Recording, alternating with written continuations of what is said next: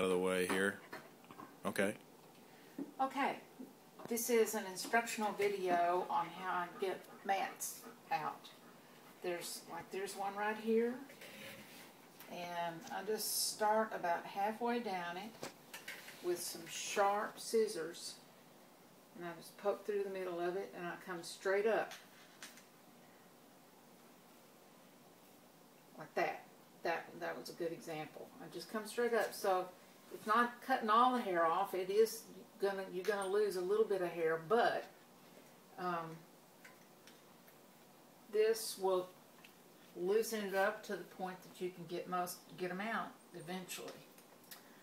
Um, just put it in there and pull upwards. And it doesn't really bother them.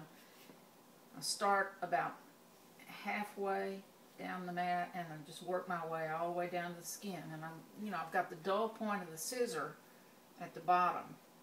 So I'm really just using the scissors like um, a flat blade, but it's coming up and here they come.